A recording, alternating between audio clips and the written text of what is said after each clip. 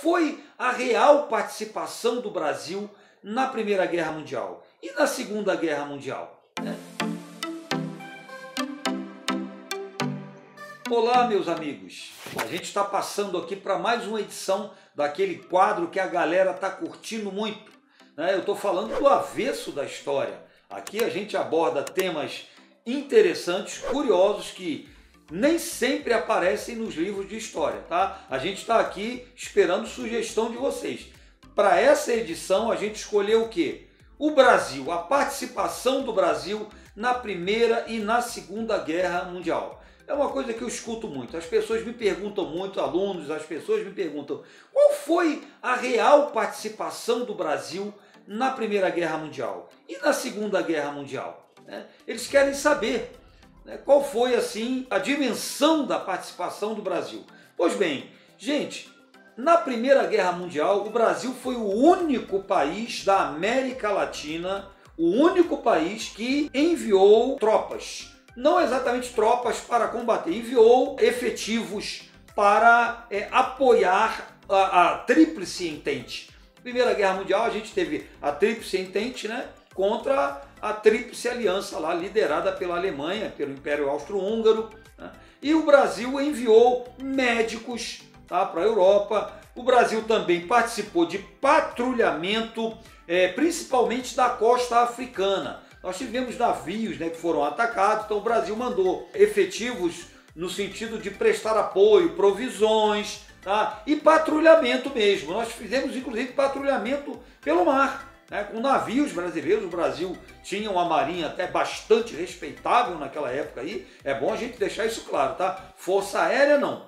Mas o Brasil participou, pilotos brasileiros né, que pilotaram aviões franceses, americanos. Tá? Então o Brasil realmente participou. Nós tivemos assim um saldo, né, segundo estimativas, né, segundo os dados que a gente tem, de 165 brasileiros mortos na Primeira Guerra Mundial. Boa parte deles foi em função da, da gripe espanhola. Né? É bom lembrar que na Primeira Guerra Mundial a gente estava aí o quê? 1914 a 1918 o Brasil ainda estava na primeira república, né? o exército brasileiro realmente ainda não tinha uma grande estrutura, a gente pode dizer assim, mas o Brasil mandou, mandou lá, né? mandou realmente é, militares né? para a Europa, principalmente em termos de apoio médico. Ah, esse foi o principal apoio do Brasil à Tríplice Entente na Primeira Guerra Mundial. O Brasil era governado na época pelo Venceslau Braz, né? um dos primeiros presidentes civis da República Brasileira. Na Segunda Guerra Mundial, a nossa participação foi maior.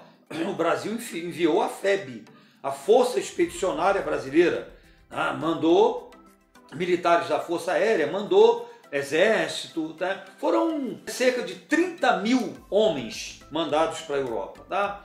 E aí o saldo foi o quê? Nós tivemos aí pelo menos 2 mil mortos. Né? Foi, foram chamados pracinhas a Força Expedicionária Brasileira, os militares que foram, ficaram conhecidos carinhosamente pelo povo brasileiro como os pracinhos. Mas na Segunda Guerra Mundial nós tivemos outros países da América Latina que também participaram, muito menos do que o Brasil, uma participação muito mais tímida. Foi o caso do México, foi o caso da Argentina, foi o caso da Venezuela, mas da América Latina, o país que mais participou né, do lado do, das potências aliadas na Segunda Guerra Mundial foi o Brasil.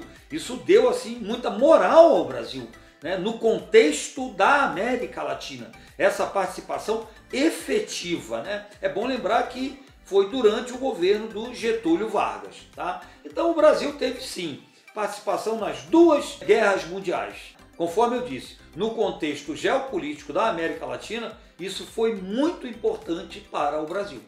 Tá bom, gente? Então é isso aí. Um grande beijo para vocês e até a próxima edição do Avesso da História.